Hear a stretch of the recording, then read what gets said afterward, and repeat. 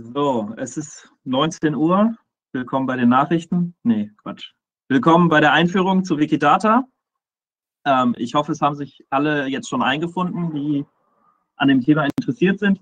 Äh, paar Punkte vorweg. Meine Internetverbindung ist nicht die allerbeste. Es könnte zu Aussetzern kommen. Ich glaube, dann könnt ihr aber weiterhin zumindest auf die Folien gucken und ähm, vielleicht da schon ein bisschen was mitnehmen. Ähm, ich lade alle ein, das Etherpad zu befüllen. Äh, je mehr da drin steht, desto mehr, äh, also auch gerne mit, mit Anmerkungen, was jetzt noch gefehlt hat oder einfach Anmerkungen grundsätzlich zur, zum Vortrag. Ähm, ich halte den sozusagen öfters in verschiedenen Versionen und es hilft mir natürlich auch, den immer weiterzuentwickeln.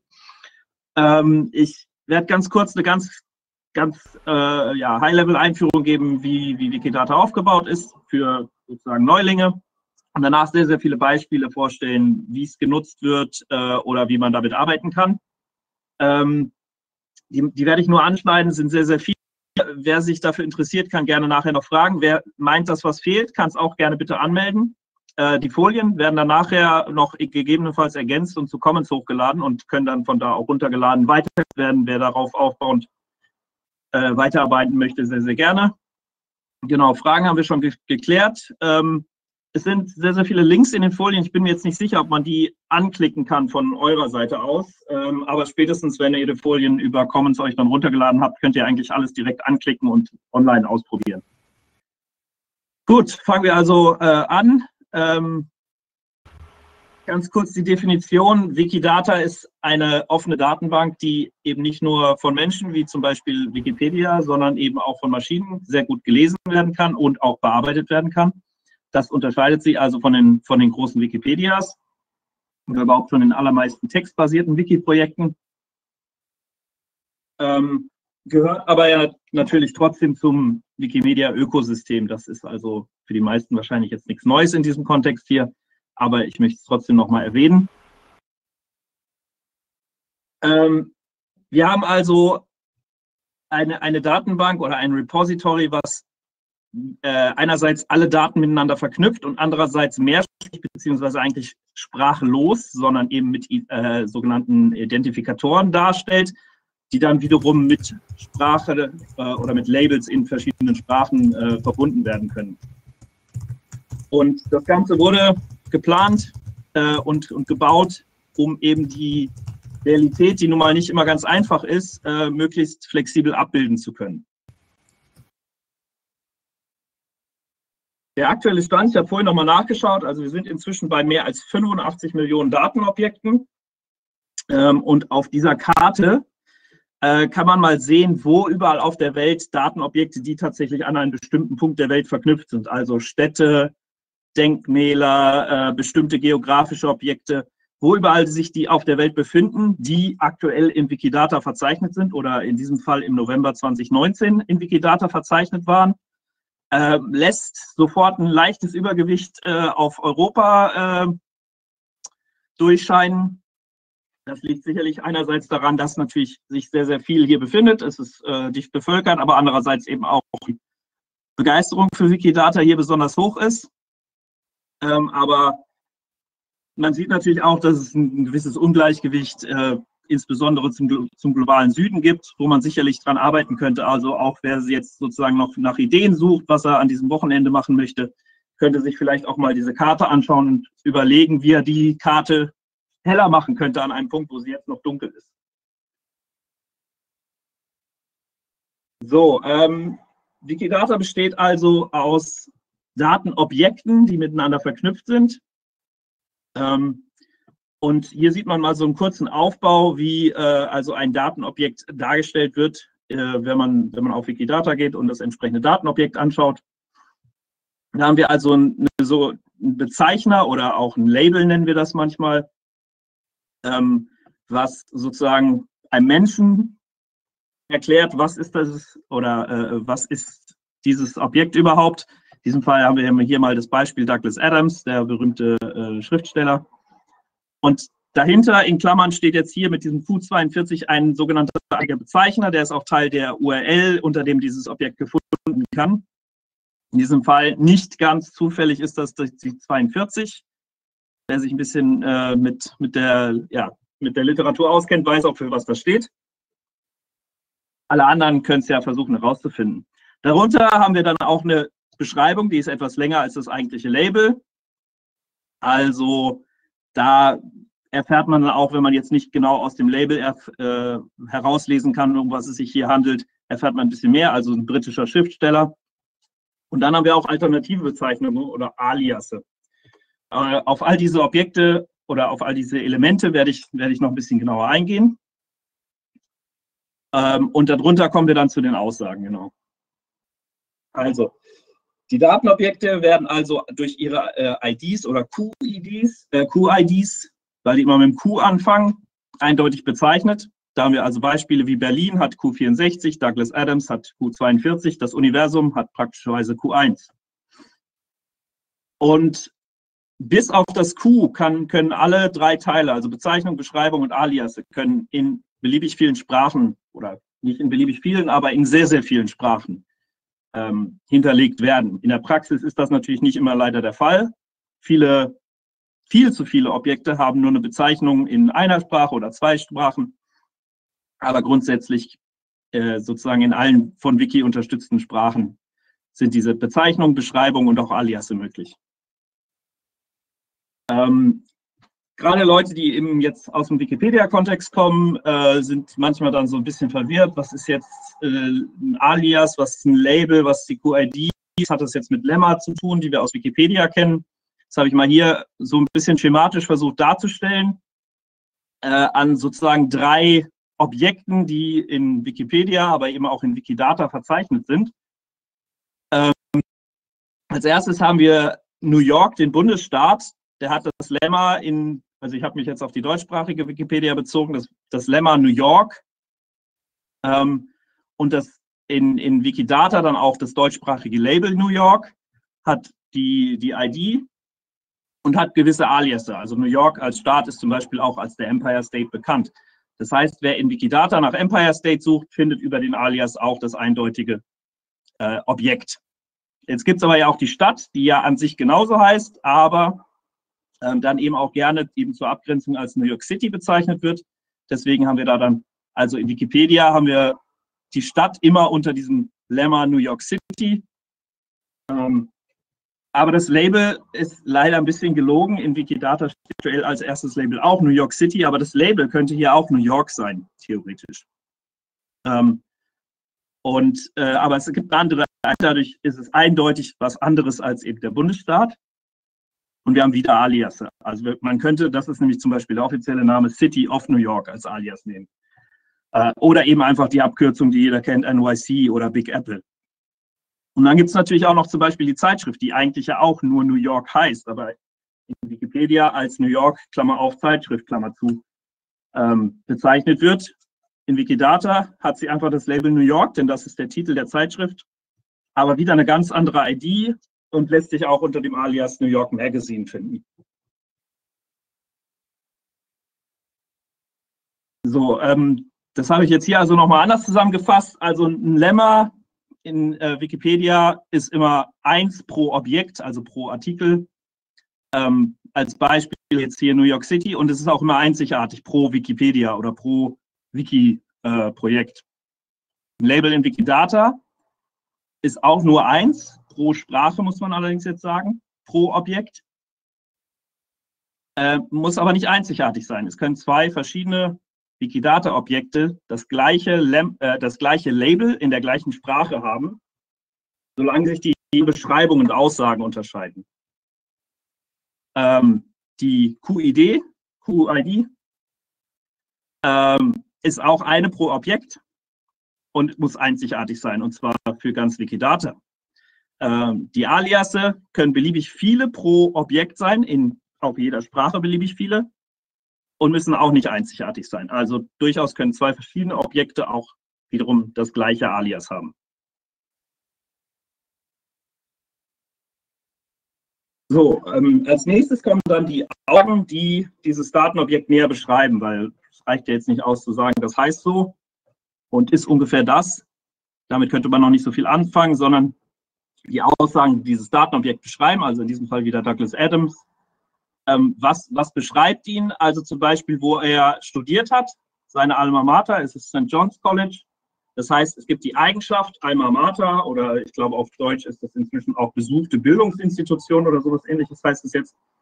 Und eben der Wert ähm, des St. John's College, was ja auch wieder ein Objekt in Wikidata ist und natürlich auch in Wikipedia einen Artikel hat. Ähm, weitere Beispiele habe ich unten mal aufgeschrieben. Ähm, Berlin hat zum Beispiel eine Einwohnerzahl, ähm, die ist mit P1080 bezeichnet von dreieinhalb Millionen. Das ist jetzt kein anderes Objekt, sondern dreieinhalb Millionen ist jetzt einfach eine Zahl. Ähm, wie das wiederum sozusagen kommt, dass jetzt einerseits ein Objekt, aber andererseits auch eine Zahl da stehen kann, da gehe ich gleich auch noch drauf ein. Ähm, ganz interessant, weil vorhin ja schon in der, in der Vorstellung Partnergemeinden aufkam. Dafür gibt es auch schon einen entsprechenden Aussagetyp, die P119. Und da haben wir jetzt als Beispiel Berlin hat die Partnerkommune äh, Kommune P190, Entschuldigung, äh, Paris mit äh, der Bezeichnung 90. Hier habe ich das also nochmal ganz deutlich veranschaulicht, dass so eine Aussage eigentlich mal aus drei Teilen besteht, nämlich dem Datenobjekt, um das es sich überhaupt handelt, dann die Eigenschaft und dann der entsprechende Wert. Und das Ganze nennen wir dann auch Triple. Und ein Wikidata-Objekt immer aus sozusagen diesen Bezeichnungen, Kurzbeschreibungen, Aliasen und dann eben einer ganzen Menge von Tripeln, die dieses Objekt näher beschreiben. So sieht das Ganze dann aus für, zum Beispiel haben wir jetzt hier Berlin. Wir haben also hier oben diese Bezeichnungen. Äh, wir haben die Kurzbeschreibung, wir haben die Aliasse, und das Ganze in verschiedenen Sprachen hier. Wir haben jetzt mal Deutsch, Englisch, Spanisch, Russisch, aber wie man hier sieht, sind es noch für wesentlich mehr Sprachen definiert. Die werden nur nicht alle gleich angezeigt, sonst wäre die Seite voll, aber man kann sie sich für alle anzeigen lassen. Dann folgen darunter die Aussagen, zum Beispiel hier die Einwohnerzahl. Und rechts haben wir dann Verlinkungen in andere Wiki-Projekte, ganz oben natürlich Wikipedia, aber darunter kommen dann auch zum Beispiel Wiktionary, äh, Wikivoyage, Wikimedia Commons und so weiter. Manchmal rutscht dieser rechte Block allerdings auch unter die anderen Blöcke, wenn der Bildschirm nicht so breit ist. Und dann als letztes kommen ganz unten die sogenannten Identifikatoren. Das sind an sich von der Struktur her normale Aussagen, die beziehen sich aber immer auf externe Datenbanken oder zumindest auf, auf äh, Bezeichnungen, die extern genutzt werden, die also nichts unmittelbar mit Wiki-Projekten zu tun haben. Zum Beispiel äh, haben wir jetzt hier immer noch für Berlin einen ISO-Code, der so definiert ist, oder eben wie man wie äh, äh Berlin die, äh, die Shape auf äh, OSM hinterlegt ist, dass sie also direkt verbunden wird.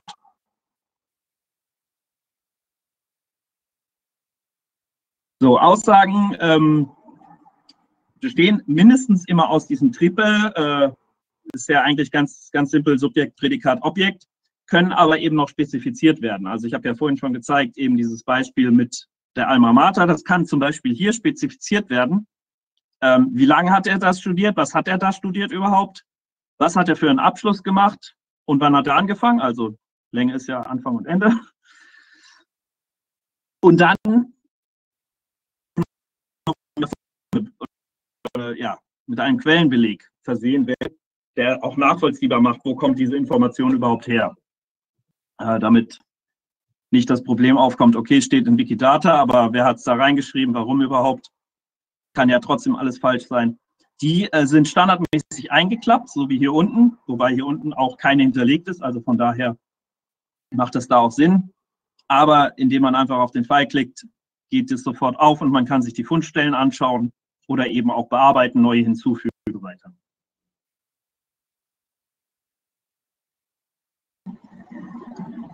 So, ähm, die Wertetypen für eine Aussage, also sozusagen das dritte, das dritte Teil, das dritte Element in, diese, in diesem Statement, in dieser Aussage, kann also verschiedene Formen annehmen. Das kann ein anderes Datenobjekt in Wikidata sein. Das ist für sehr, sehr viele Arten von Aussagen so. Ähm, also an den Beispielen, die schon genannt wurden, Douglas Adams hat im St. John's College studiert, St. John, St. John's College. Das ist ein, also auch ein Objekt in Wikidata. Ähm, Berlin liegt am Fluss Havel. Havel auch wieder ein Objekt in Wikidata. Aber damit kann man ja nicht alles abdecken. Deswegen ist es auch möglich für bestimmte Aussagetypen, dass einfach Text eingegeben wird. Das kann Text sein, der in einer bestimmten Sprache nur gültig ist. Dann wird die Sprache angegeben. Oder es kann auch Text sein, der universell gültig ist, unabhängig von der Sprache. Das ist ähm, zum Beispiel bei offiziellen Bezeichnungen, die einfach universell gültig sind, aber die wiederum kein eigenes Objekt nötig machen. Dann natürlich Zahlen, also in dem Beispiel mit der Einwohnerzahl macht es natürlich wenig Sinn, für jede einzelne Zahl ein eigenes Objekt anzulegen, nur um das zu verlinken, sondern man, man gibt einfach an, Berlin hat dreieinhalb Millionen Einwohner ungefähr oder man kann auch die Genauigkeit eingeben, das ist eben auch sehr, sehr praktisch, ähm, wie genau eine Zahl überhaupt ist. Also manchmal ist es ja so genau auch gar nicht bestimmt oder nicht bekannt. Dann kann zum Beispiel eben in bei Berlin dreieinhalb Millionen Einwohner um 100.000 genau angegeben werden, anstatt dass die genaue Zahl angegeben wird. Äh, dann können auch noch zu dieser Zahl Einheiten hinzugefügt werden, also zum Beispiel die Länge von etwas wird dann natürlich auch zum Beispiel in Meter oder eben auch nicht in Meter, sondern in Fuß angegeben. Äh, und es gibt äh, interne Umrechnungstabellen, die dann auch Umrechnung zwischen diesen Einheiten ermöglichen. Ähm, das gleiche gilt für Daten. Da können die üblichen gregorianischen Daten angegeben werden, die allgemein eben hier in unserem Kontext verwendet werden. Aber da ja auch der julianische Kalender in manchen Bereichen noch eine Rolle spielt, können die Daten auch einfach julianisch eingegeben werden und können dann auch automatisch im Hintergrund umgerechnet werden. Dann haben wir noch Geokoordinaten. Äh, es können auf eine Mediendatei, die in äh, Wikimedia Commons liegt, ähm, verlinkt werden oder es kann einfach eben ein externer Identifikator aus einer URL eingegeben werden. So, ich fürchte, die Zeit reicht gar nicht, dass ich jetzt hier jetzt ein bisschen mal live vorführe, aber ähm, ich würde jeden einladen, äh, auf die Spielwiese zu gehen. Die kann man einerseits eben in der Suchleiste selbst finden oder unter dieser URL, die hier, äh, die hier angezeigt ist. Wie gesagt, ich weiß nicht, ob sie für euch klickbar ist. Probiert es mal aus. Wenn ja, äh, wäre super. Ansonsten kann man es auch mal versuchen, schnell abzuschreiben. Oh, es ist im, im Chat aufgetaucht. Sehr gut, vielen Dank. Und da könnt ihr euch gerne einfach mal ausprobieren, auch wenn mein Vortrag zu langweilig ist. ähm, ist das was, was Nettes. So, jetzt kommen wir dazu, ähm, wie wird denn jetzt Wikidata eigentlich genutzt? Und zwar zuerst mal in der Wikipedia selbst oder in anderen Wiki-Projekten allgemeiner. Da haben wir natürlich das allererste, was äh, Wikidata überhaupt vollbracht hat für Wiki-Projekte, waren Inter-Wiki-Links. Also, dass verschiedene Wikipedia-Artikel zu dem gleichen Thema in verschiedenen Sprachen untereinander verlinkt waren. Das war früher immer im, im Quelltext des jeweiligen Artikels äh, der Fall, dass unten angehängt wurde, ah, übrigens, dieser Artikel existiert in anderen Sprachen. Das war allerdings wenig konsistent, sehr, sehr aufwendig zu pflegen. Ähm, das alles äh, übernimmt ja jetzt auch Wikidata. Das heißt, mit gewissen Ausnahmen besteht eigentlich zu jedem äh, Objekt, was in irgendeiner Wikipedia, in irgendeiner Sprache einen Artikel hat, wird auch ein Wikidata-Objekt und macht es damit möglich, die dann auch untereinander zu verlinken. Das hatte ich ja in, in einer der vorherigen Folien schon gezeigt das Recht sozusagen eingetragen wird. Zu diesem Objekt existieren äh, entsprechende Seiten in wikipedia.de, in Wikipedia.en oder eben auch im Dictionary, in Wikivoyage und so weiter. Umgekehrt ähm, lässt sich auch in den meisten Wiki-Projekten eben, wenn Sie schon ein entsprechendes Wikidata-Item haben, links in der Leiste sehr, sehr schnell eben über diesen Punkt Wikidata-Objekt heißt es, glaube ich, auf Deutsch, sehr, sehr schnell das entsprechende Objekt äh, in Wikidata finden. So, dann etwas neuere Entwicklung, äh, leider in der deutschsprachigen Wikipedia auch noch nicht so prävalent oder soweit ich weiß überhaupt nicht äh, aktiv ist, die Möglichkeit Infoboxen direkt aus Informationen, die in Wikidata enthalten sind. Also wer ist Bürgermeister, wie viele Einwohner, wo liegt es auf der Landkarte, also diese Infoboxen damit die direkt automatisch zu befüllen. Ähm, in diesem Beispiel sieht man jetzt hier im Quelltext im Wikipedia-Artikel wird einfach nur angegeben, ähm, die Infobox für ein, für ein, äh, für eine Gemeinde, äh, also ein Objekt einer Gemeinde in dem Fall. Und die zieht sich dann automatisch diese, diese Informationen für die, äh, aus den entsprechenden Statements, die in Wikidata hinterlegt sind, und bildet daraus die Infobox. Und das muss nicht mehr hier im Quelltext hinterlegt werden. Das ist also eine Möglichkeit. Ah, ich äh, sehe gerade also wenige ein, einzelne Details werden wohl auch schon in Infoboxen in die E-Wikipedia eingefügt. Aber in der breiten Masse ist das halt noch nicht der Fall. Also hier, das ist zum Beispiel die äh, lateinische, glaube ich, Wikipedia, die macht das schon. Ähm, aber inzwischen machen es sehr, sehr viele schon. Also in der französischen, ich glaube auch in der englischen ist es schon relativ weit verbreitet.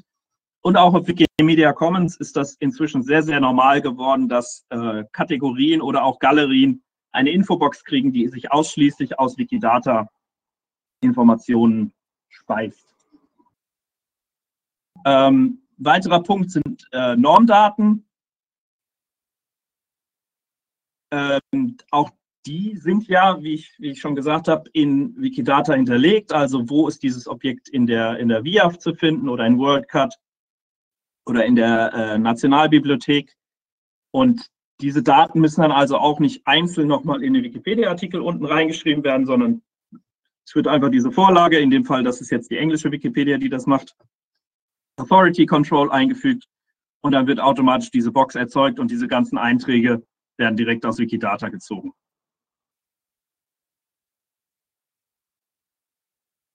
Dann werden in der mobilen Version von Wikipedia werden schon die Kurzbeschreibungen übernommen. In der Suche ähm, sucht man also hier auch wieder Beispiel nach New York City, dann wird dieses äh, City and State of New York, das ist die englische Kurzbeschreibung eben für New York City, wie sie in Wikidata steht. Und die wird hier dann auch in der Suche in Wikipedia im, in der mobilen Version schon direkt übernommen. Äh, und die, äh, dieses Montagebild zum Artikel, was auch als ähm, entsprechende Aussage in, in äh, dem Wikidata-Objekt hinterlegt ist. Das Ganze wird auch in der Suche schon teilweise angewendet, dass eben äh, zwar Wikipedia gesucht wird, aber zusätzlich äh, Resultate aus Wikidata angezeigt werden, ähm, falls man in seiner Wikipedia die entsprechende Information noch nicht gefunden hat, wird man dann zumindest gleich weitergeleitet auf Wikidata, wo ja ein, ein breiteres Spektrum an Informationen zu finden ist. Natürlich nicht immer so tief zu dem Thema, aber zumindest breiter.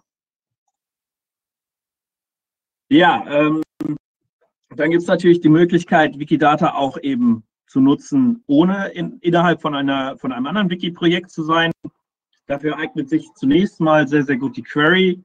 Der, Im Anschluss wird äh, Lukas da sehr gut drauf ein, äh, also sehr, sehr tief drauf eingehen und wird sicherlich alles dazu erklären. Deswegen werde ich jetzt hier nicht die, die Query an sich erklären, sondern nur ganz kurz einen Überblick geben, was sie so ungefähr kann.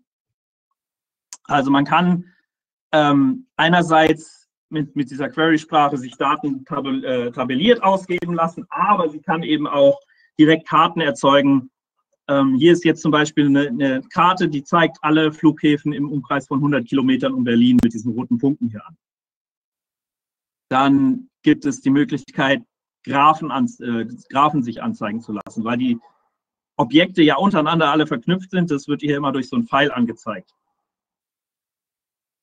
Ähm, das heißt, hier sieht man jetzt zum Beispiel Aussagen, die im, im Objekt Berlin sind, also zumindest ein Teil davon, es sind inzwischen schon viel mehr, werden jetzt hier sozusagen grafisch aufbereitet. Kann man jetzt also sehen, zum Beispiel, wer sind die administrativen Einheiten und die sind dann hier sozusagen alle mit auch noch schön mit Bildern angezeigt, sieht man also die Bezirke. Das ist also auch eine sehr schöne Art, um, um die äh, Daten dann auch greifbar zu machen. Ähm, man kann Blasendiagramme sich ausgeben lassen. Also hier wurde zum Beispiel gezählt, woran Menschen, die Wikidata-Objekte haben, gestorben sind. Ähm, kann man sehr schnell eine sehr schöne Auswertung machen, sieht sofort Herzinfarkt, okay, das, das klingt schon Sinn, äh, klingt schon sinnvoll. Dann äh, Erschießung auch gar nicht so wenig vertreten. Und äh, es gibt dann, wo habe ich jetzt auch äh, tatsächlich ähm, glaube ich, Kopf abschlagen ist auch dabei. Also sind äh, teilweise Überraschungen drin, äh, die natürlich vielleicht auf die moderne Gesellschaft dann auch nicht immer Sinn machen, aber äh, aus der Historie sich vielleicht erklären. Und nochmal, die Links zu jedem dieser, dieser Abfragen habe ich hier unten reingepackt. Die kann man dann sich dann also nachher selbst nochmal aufrufen, noch mit rumspielen. Vielleicht sehen die inzwischen auch schon anders aus. Die, aus, äh, die Abfragen ändern sich ja auch äh, nach dem Datenbestand. Also diese, dieses Blasendiagramm wurde sicherlich schon vor einem Jahr oder so erstellt. Das sieht jetzt vielleicht auch schon ganz anders aus. Dann gibt es Zeitstrahl, kann man sich anzeigen lassen. Hier zum Beispiel sind das äh, die Starts von Raumsonden über die Zeit, wann die gestartet sind und auch sofort ein Bild dazu. Das heißt, das Ganze wird auch äh, grafisch etwas schöner. Dann haben wir hier noch eine andere Art von Graph, der zeigt dann den Stammbaum von Genghis Khan mit seinen ganzen Nachfahren, also genau, Stammbaum im Sinne von seinen Nachfahren. Also wer mit wem und äh, auf jeden Fall sieht man, er hatte sehr viele Kinder, aber davon haben sich nicht so viele wiederum weiter vermehrt oder zumindest waren deren Kinder dann nicht so wichtig, dass sie noch hier ähm, in, in Wikidata angezeigt werden.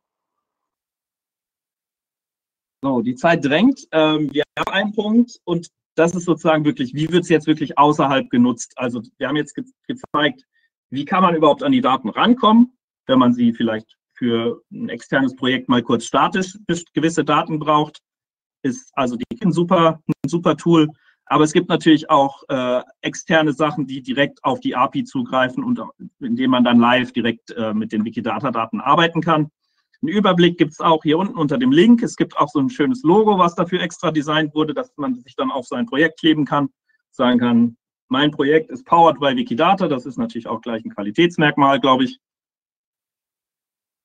Ähm, die Folien werden am Ende verfügbar gemacht, weil die Frage gerade kommt. Ähm, als Beispiel eben für ein Projekt äh, oder ja, ein Projekt, was, was extern ist, was sich auf Wikidata-Daten bezieht und diese live anzapft, ist Histropedia. Da lassen sich also auch so, so Timelines, Zeitstrahle ähm, anzeigen. Noch ein bisschen schöner, als das vielleicht die Query selbst kann. Und ich glaube, es geht auch ein bisschen tiefer in bestimmte Themen rein. Das ist auf jeden Fall ein schönes Projekt, ähm, sehr zu empfehlen.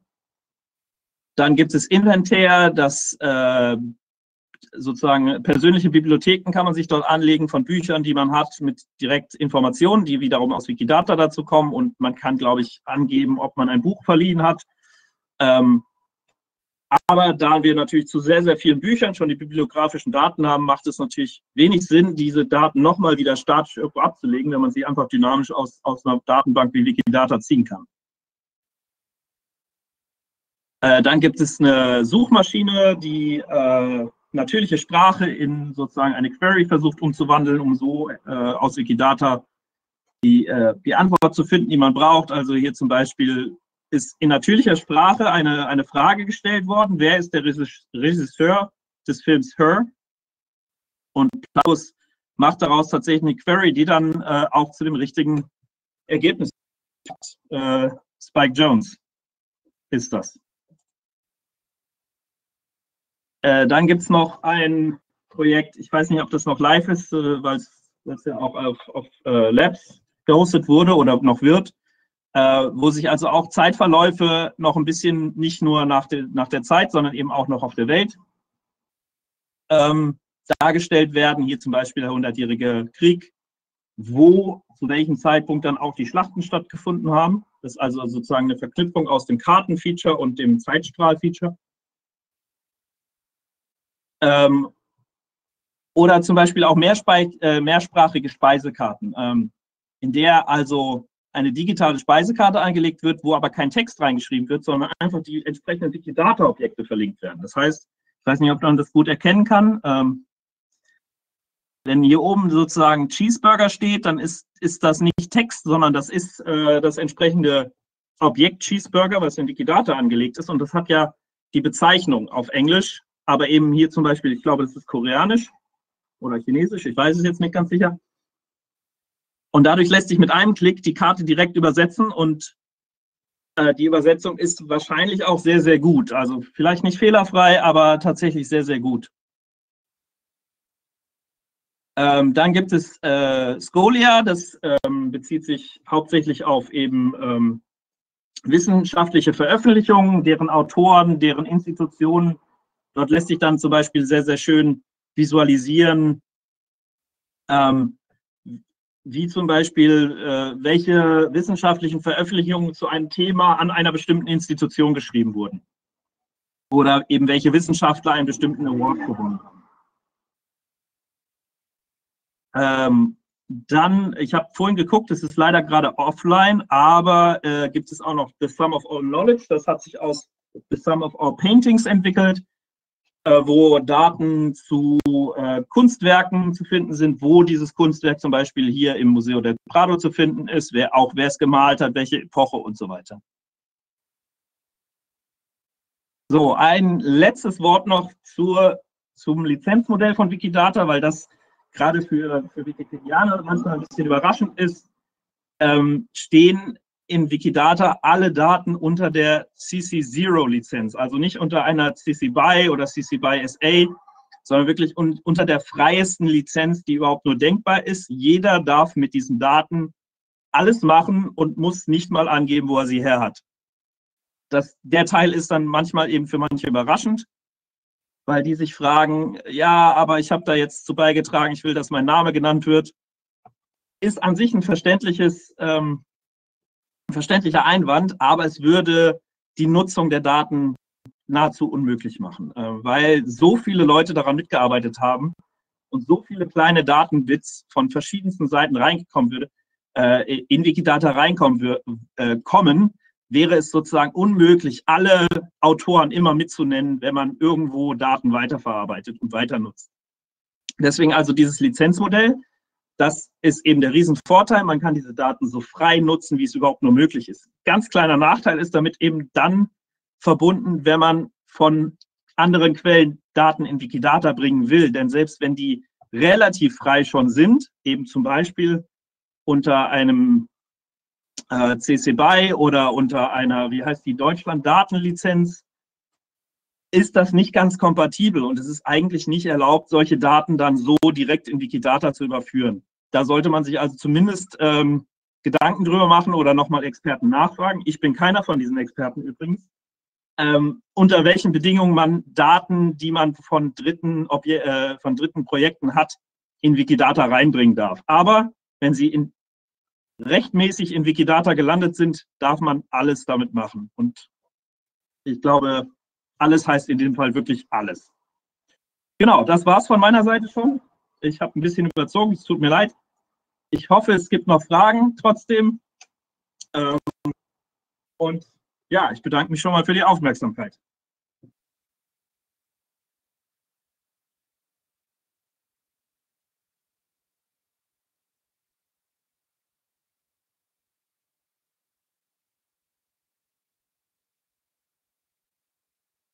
Klatschen auch gerne im Chat. Ja, danke, Matti. Auf jeden Fall super schöne Präsentation. Gucken wir mal, ob noch Fragen reinkommen.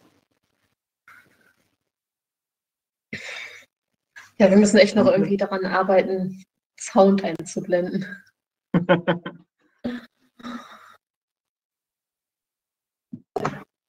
Also ich hätte eine Frage. Ja. Äh, es gab ja schon Diskussionen darüber, welche Art von Item überhaupt angelegt, angelegt werden kann in Wikidata. Mhm. Mhm.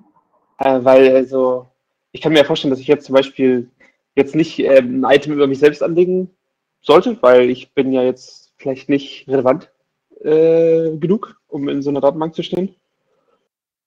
Äh, aber wie weit kann man eigentlich ins Detail gehen mit, äh, also wie viele Personen, die an diesem Film mitgearbeitet hat, sollte eigentlich auch in Wikidata drin stehen?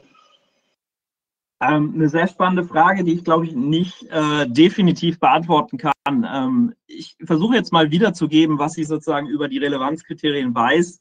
Sie sind deutlich weiter als in eigentlich jedem anderen Wiki-Projekt. Also ähm, ein Objekt anzulegen ist eigentlich immer dann möglich, wenn es für irgendeine Beschreibung eines anderen Objekts notwendig ist. Das reicht eigentlich schon aus, damit ein Objekt auch angelegt werden kann. Äh, was natürlich beachtet werden sollte, sind zum Beispiel äh, Persönlichkeitsrechte, weil du eben, also wenn du dich selbst anlegst, ist das vielleicht nicht das Problem, aber wenn du äh, Objekte über Dritte anlegst, könnte das ein Problem sein, wenn sie wirklich eigentlich nicht wirklich äh, in der Öffentlichkeit stehen. Wäre es natürlich äh, aus persönlichkeitsrechtlichen Gründen schwierig, wenn du da zum Beispiel jetzt Geburtsdaten oder so reinschreibst. Das ist also zu beachten.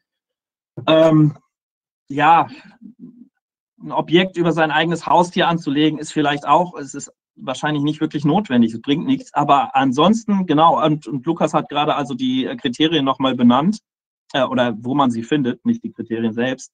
Ähm, grundsätzlich sage ich mal, sie sind viel, viel weiter als in jedem anderen Wiki-Projekt. beantwortet das die Frage? Ja, also, also so viel habe ich schon vorher gewusst. Äh, ich dachte bloß, ihr habt vielleicht mehr Übersicht darüber, wieso der Stand der Diskussion da jetzt ist. Also ich glaube, dieses Notability-Ding habe ich auch gelesen. Okay. Äh, aber ich. Darüber hinaus weiß ich jetzt also, leider auch. Man, man verliert immer leicht die Übersicht über, was eigentlich wo alles so diskutiert wird. Das stimmt, ja. Ich habe nicht den Eindruck, dass das aber besonder, ein besonders umkämpfter Bereich ist, der, der gerade sehr, sehr heiß diskutiert wird. Ich glaube, es sind sich die meisten relativ einig, dass man sehr, sehr viel eben darf.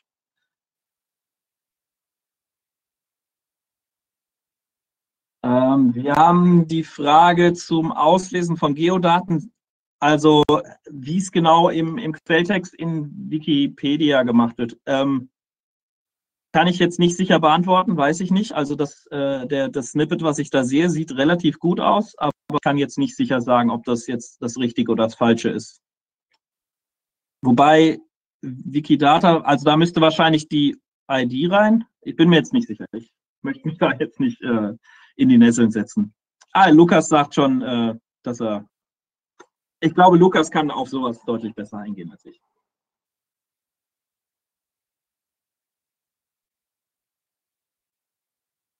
Gibt es weitere Fragen?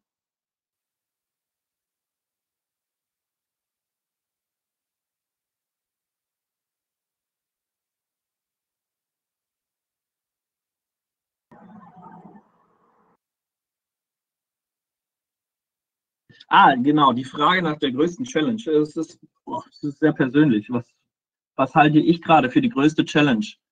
Ähm, das, das Wachstum, wobei eigentlich auch nicht mehr.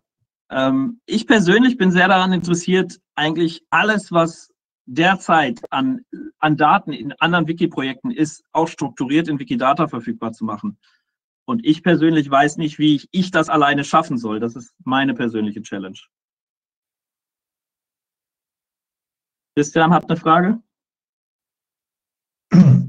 Ja, äh, ich will ja zum Beispiel die Flaggen der Länder aus Wikidata holen. Jetzt vermute ich, dass die Flaggen eher bei Wikimedia oder bei Commons liegen. Und die haben vielleicht eine CC BY-Lizenz. Ähm, wie handhabe ich das, wenn ich, sagen wir, tausend oder hunderte von Flaggen hole? Muss ich dann für jede Flagge die, die Lizenz angeben oder die Referenz? Also ich habe nicht gecheckt, ob das so ist, ob die da liegen. Ja. so